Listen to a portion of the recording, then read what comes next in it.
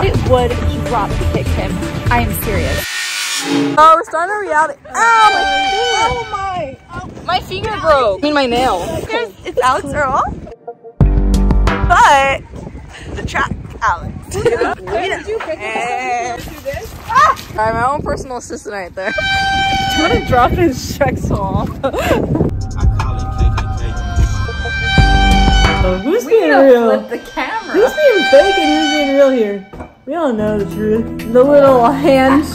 I saw myself. Hey. Never texted him back. Oh, I can do it, they can't do it to me. I think it's relevant, like, in the right situations. Like, sometimes you just gotta drop them, and sometimes I need to be dropped, so, like. Oh my god!